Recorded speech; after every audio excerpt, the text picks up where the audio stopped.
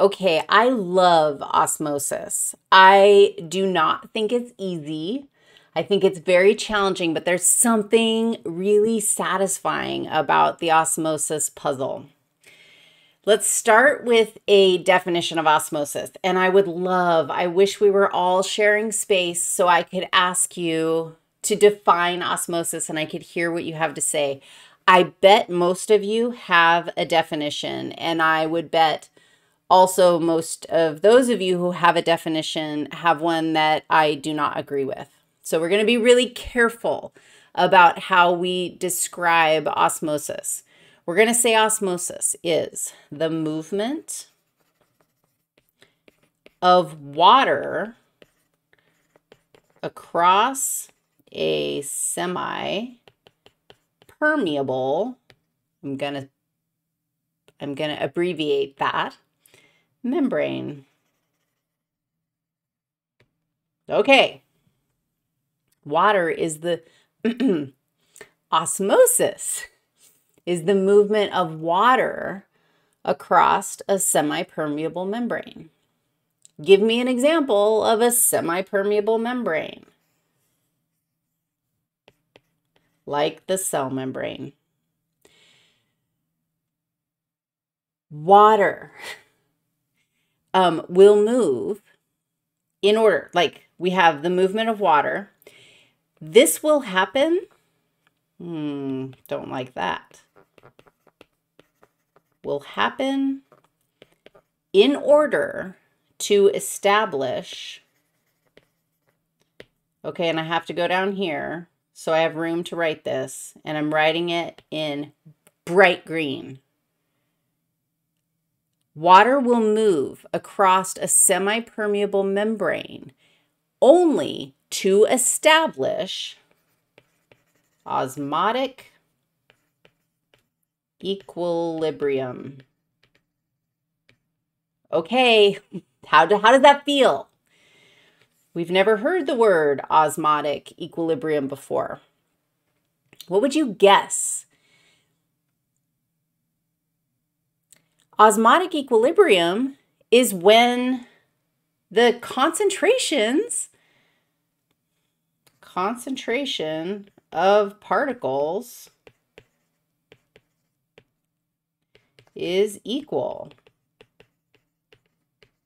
on both sides of a, of a, a semi-permeable membrane.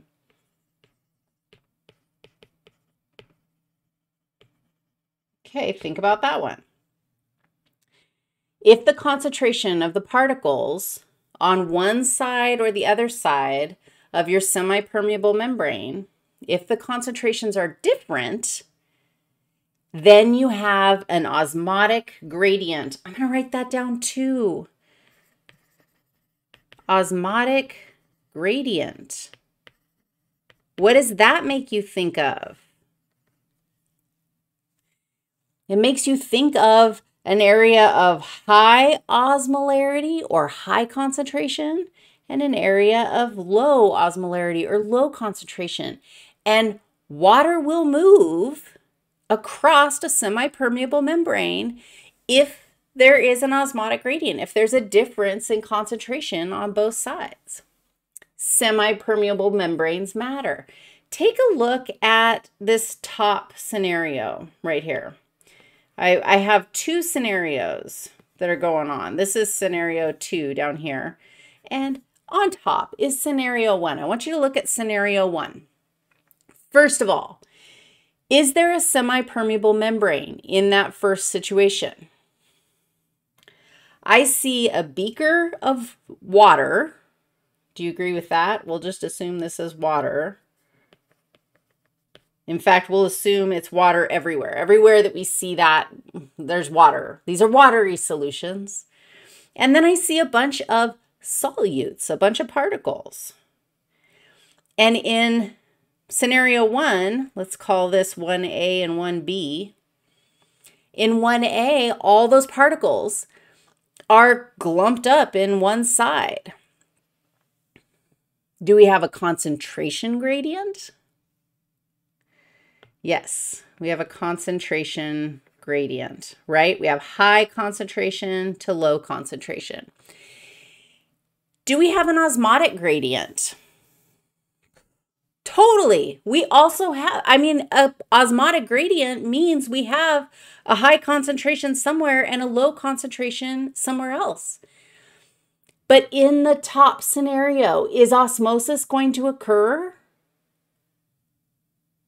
The answer is no. Why not?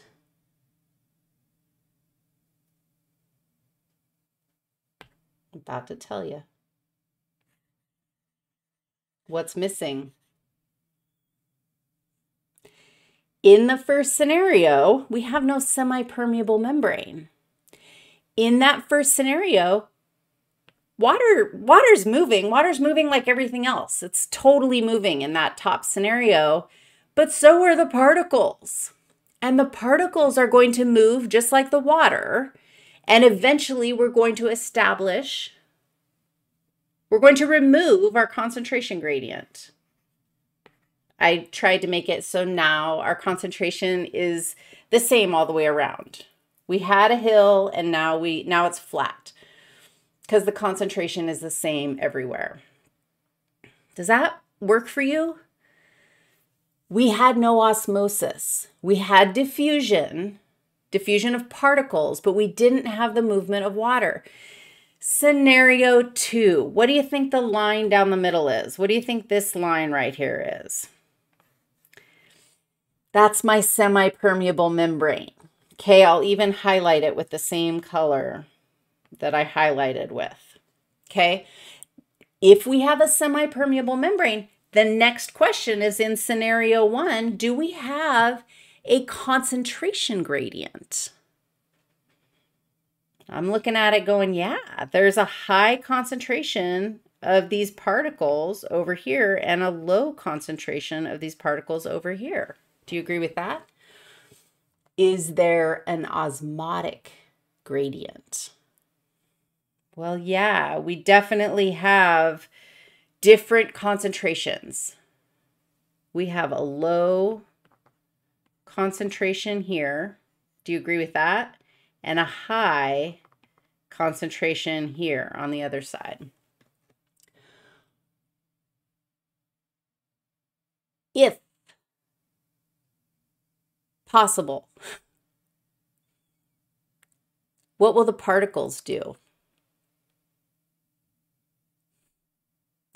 If possible, the particles will just move and then will water move? No. But this is a semi-permeable membrane. And I'll tell you right now, these particles are going to, what direction are they going to try to go? Don't you agree that the particles want to go down their concentration gradient? And they're going to get, boink, rejected. They can't get through. This is a semi-permeable membrane. These particles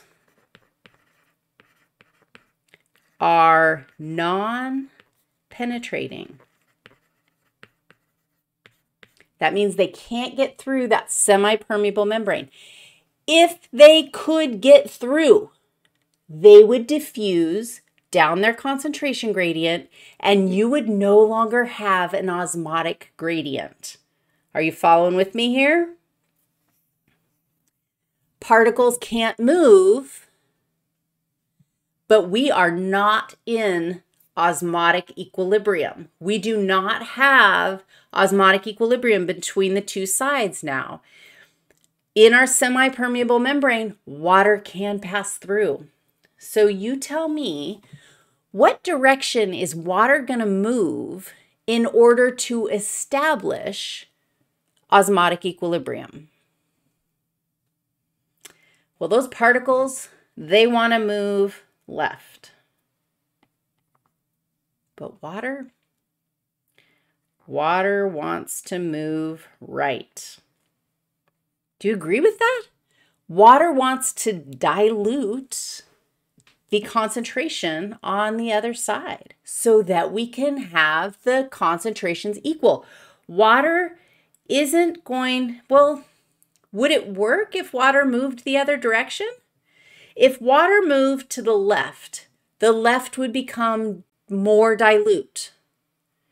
If water moves to the right, the right becomes more dilute, less concentrated. Which one, if we want osmotic equilibrium, which one needs to become less concentrated? That's where water is going to go.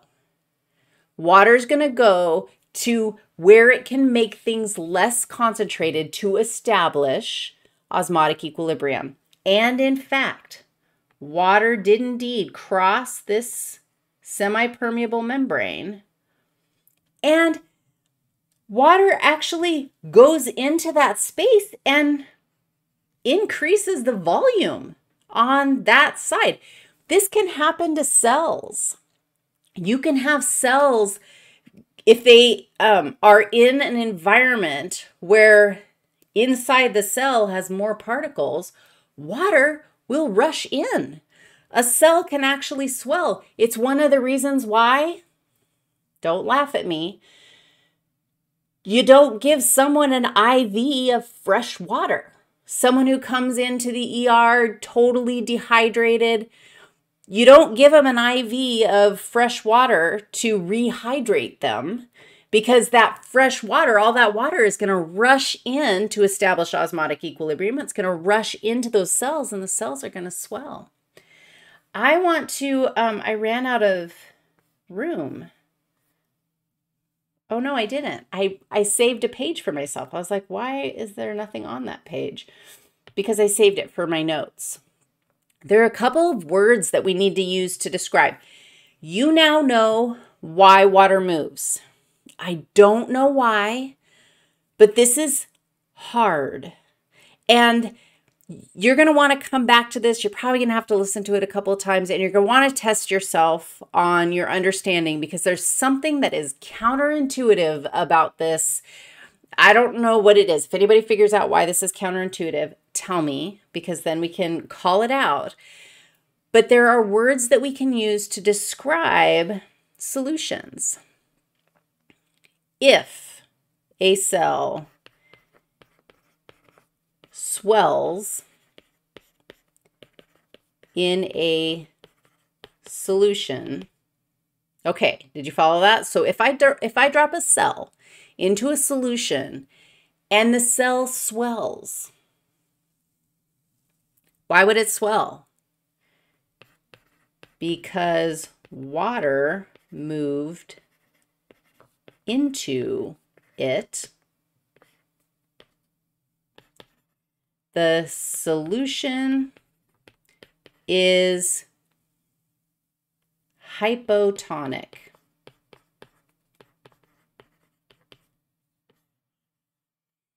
Did you did you follow? Did you go with me?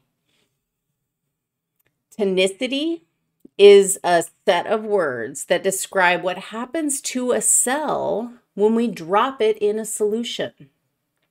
If the cell swells, the solution is hypotonic. Guess what it is if the cell shrinks? If the cell, I'm not going to write any more words. You write this all out. But if the cell shrinks